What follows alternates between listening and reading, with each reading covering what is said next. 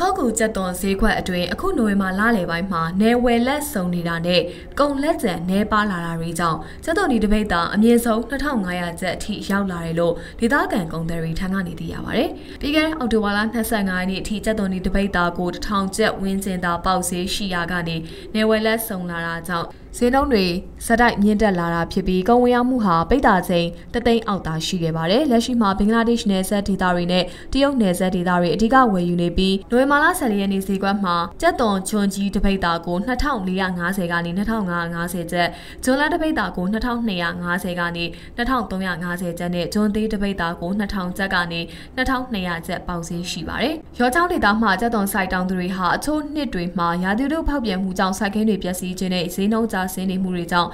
စိုက်ပျိုးစရိတ်ဆုံးရှုံးမှုတွေကြုံတွေ့ရပြီးအခုလိုနယ်ဝယ်လက်ဆောင်ကဈေးနှုန်းမြင့်တက်တဲ့နှစ်မှသာအကျိုးမြတ်ခံစားရတယ်လို့သိရပါတယ်။